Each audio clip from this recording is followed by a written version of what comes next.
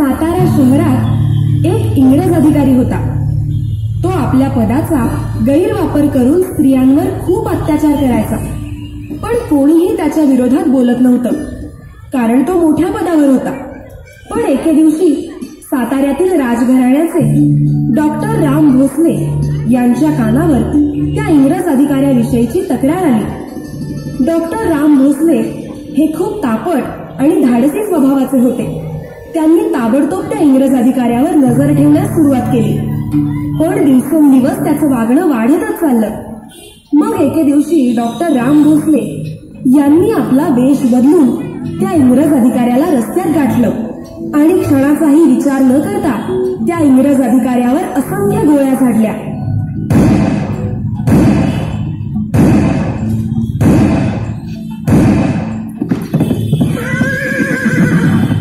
आणि तिथून डॉक्टर राम भोसले पुण्याला पसार झाले.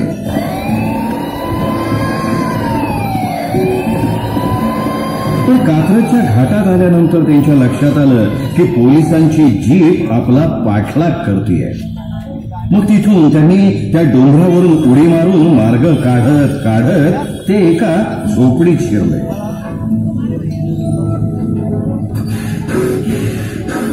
इथं लपायला जागा सांगले कधी बराच मोठा प्रवास करून आलेला दिसतोय. माझ्याकडे जास्त वेळ नाही. अहो मी साताऱ्यावरनं आलो. बस. पुढचं काहीही बोलू नको आम्हाला सगळं ठाऊक आहे. मुकाट्यानं इथंच बैस तू. अहो इथे नको. पोलीस पाठलाग करतायत माझा. दुसरी जागा सांगा एखादी. बस म्हणतो ना.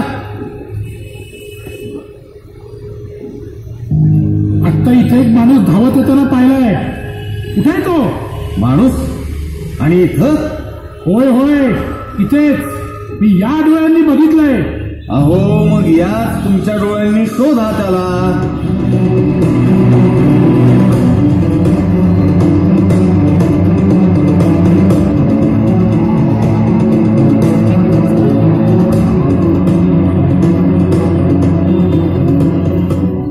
दुसरीकडे पळाला असेल बहुतेक. अहो तुम्हीच पाहिलं होतं ना त्याला. मग नाही सापडला? असं कसं नाही सापडत? शोधा शोधा शोधा आणि घेऊन जा असेल तर. माफ करा तुम्हाला त्रास दिल्याबद्दल. पण मी त्याला पकडल्याशिवाय राहणार नाही. येतो मी. तुमची खात्री झाली ना? हो झाली. बघतो. दुसऱ्या दिशेला पळाला असेल. येतो. या. भोसले तुमचा मार्ग मोकळा झाला. बापरे परमेश्वरा अहो मी त्या पोलिसाच्या समोर होतो. सगळीकडे शोधलं त्यांनी मला. माझ्यासमोर उभा होता तो. पण मी त्याला कसं नाही दिसलो? मला वाटलं होतं की आता माझा मृत्यू नक्की. हे सगळं अजब आहे. तुम्ही नक्कीच कोणीतरी आहात. कोण आहात आपण? तुम्ही कोणते योगी संत आहात? बरोबर ना राहगीर को राह दिखाते छोड़ उनके घर। हर लम्हा मैं अपनी दूरी मेरा नाम है शंकर। मस्त फकीर का कौन ठिकाना? नको ना आता तू इथं राहू नकोस। हिमालयात जा हिमालयात हिमालयात जा. नाहीतर हे सरकारी लोक तुला क्षणा क्षणाला त्रास देतील. तू त्या नराधमाला त्याची योग्य जागा दाखवली. तुझं कार्य उत्तम आहे. जा जा.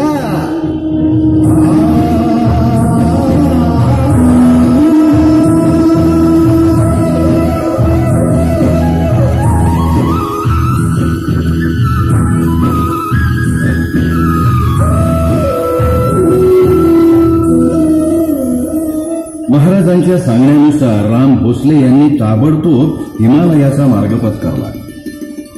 पुढे राम भोसले यांचं आयुष्य महाराजांच्या कृपेनं संकटमुक्त झालं.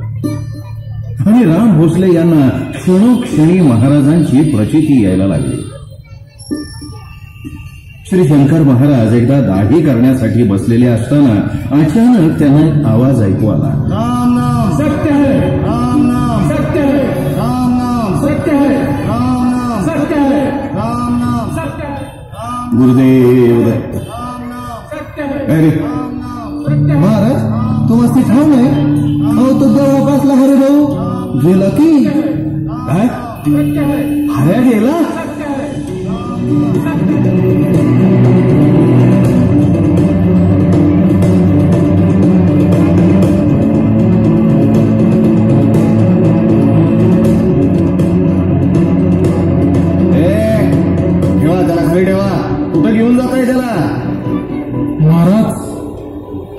गेला. असलं काही अभद्र बोललास तर मुस्कार फोडी ना तुझं. खाली ठेवा खाली ठेवा.